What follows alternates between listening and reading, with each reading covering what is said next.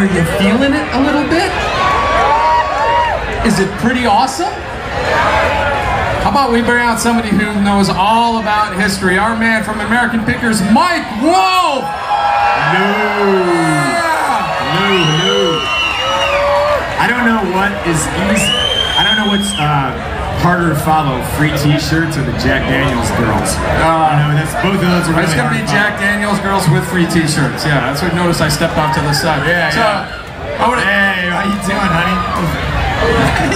Mike, Mike's mom is here. What are the odds?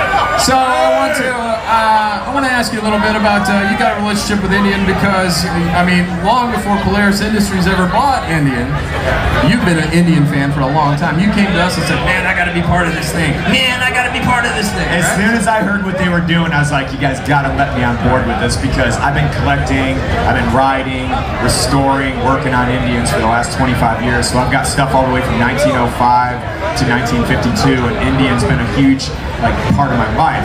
It's like it's. I bet if we